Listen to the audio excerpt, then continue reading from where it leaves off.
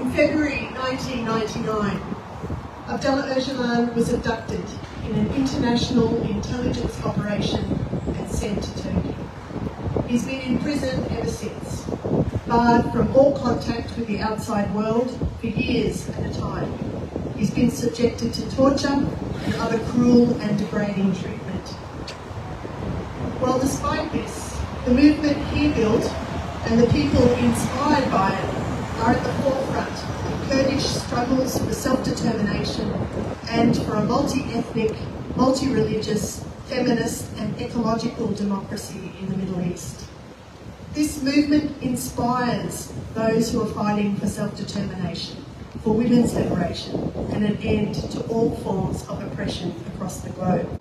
The Turkish Republic's violent denial of fundamental civil and political rights to 20 million Kurdish citizens has cost tens of thousands of lives, displaced millions, and empowered hardline nationalists, religious fundamentalists, and autocrats worldwide.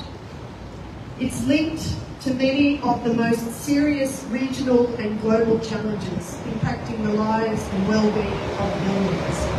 Occupation, racism, the oppression of women, religious intolerance, economic exploitation and the destruction of the environment. The Kurdish question is an international issue. Kurdistan is divided between four states, Turkey, Iran, Iraq and Syria. It was European powers, including Britain and France, who created these divisions a century ago. And Turkey's ability to wage war on the Kurds across the Middle East is the result of decades of unconditional support from the United States and other NATO members. And Turkey's new strategy is to play these powers off against each other, against other states, I mean, like Russia and Iran, to extract anti-Kurdish concessions from all sides.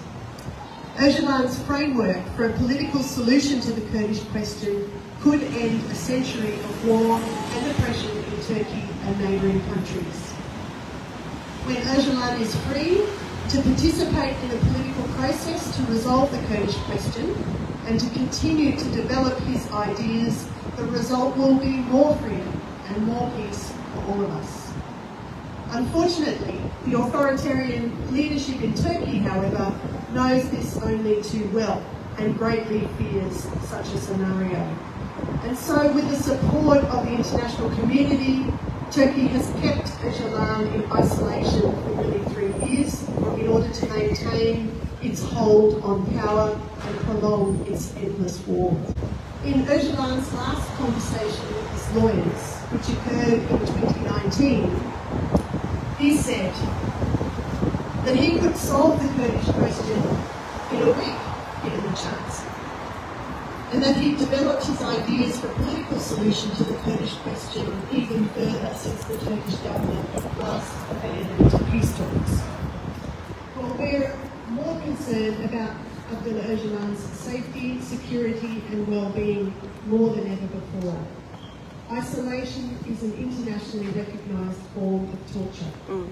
This situation is clearly unsustainable and for this reason we make the following demand and that is that Kurdish leader Abdullah Öcalan be allowed to meet with his lawyers and family and that he ultimately be freed under conditions that allow him to play a role in finding a just and democratic political solution to Turkey's decades-old Kurdish question. Thank you.